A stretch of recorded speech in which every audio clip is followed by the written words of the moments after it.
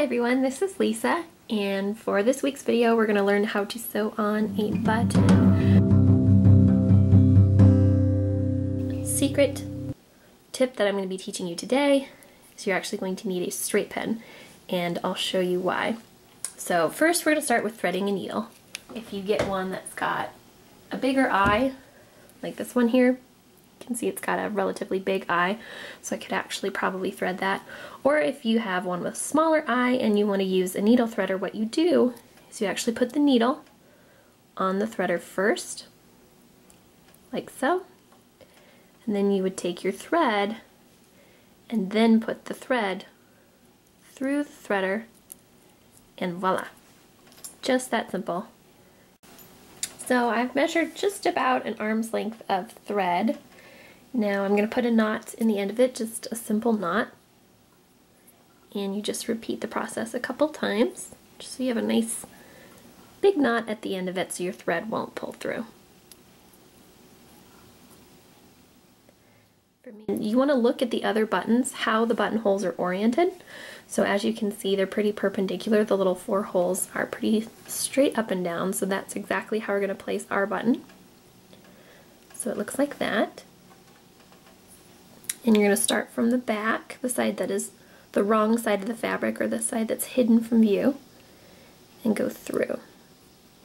And here, once we get one pass through, is where I'm going to show you a little trick. Lots of people will just sew on a button, but you forget that a button actually needs to have slack into it. As you can see from this button here, it's not actually flush with the fabric. It's raised a little bit because you actually have to button fabric over top of it. So there has to be room for fabric to go underneath. So this is where your straight pin comes in. You're just going to use a straight pin. Hold it in place and sew around it. So now every pass you make, that straight pin is going to be between your thread and the button itself, creating a barrier so that at the end, when we remove the pin, there's going to be a little bit of slack and then we'll make a couple of passes of thread underneath the button itself to just kind of create an even more raised button. So that way we have plenty of give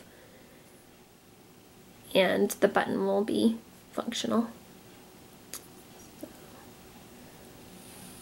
go like this. Another thing to watch for too is there's many different ways to sew through the buttonholes.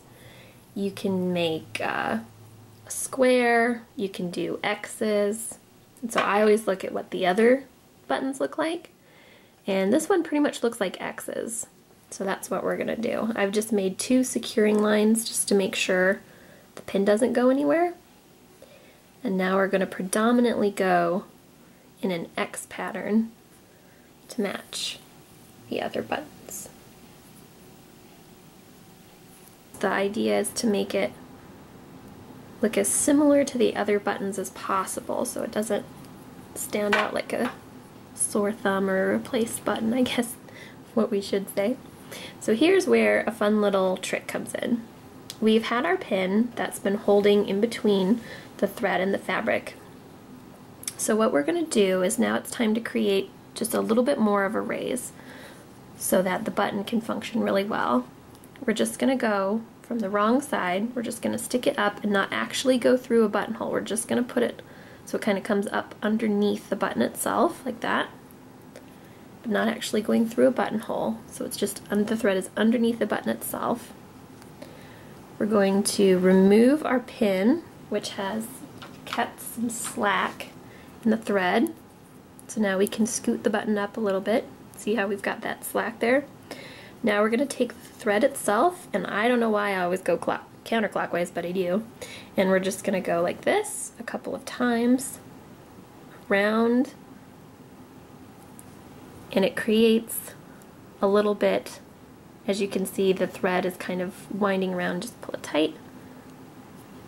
And that creates even more of a lip for the button itself, so it stands up and away from the fabric like the other buttons do, And now there's room to actually make it function like a button. We're just gonna hide our thread. We're just gonna go back underneath so that no one can really see what we did there. Pull it through.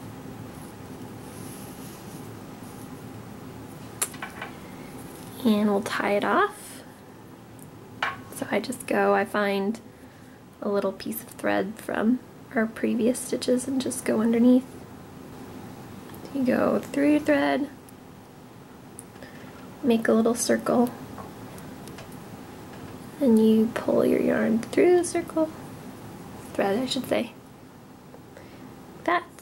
And then I always do just one more little underpass just to kind of tuck it all in. And then we'll cut it off.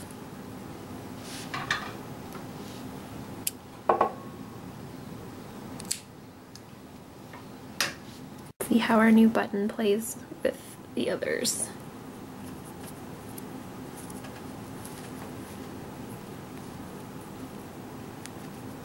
And as you can see, she's as good as new.